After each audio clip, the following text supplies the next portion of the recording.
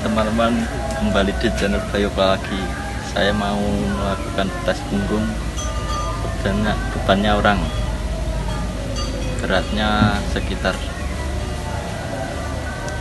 80 kilo. Saya mau nih timbang di sini tidak ada timbangan. Mohon maaf.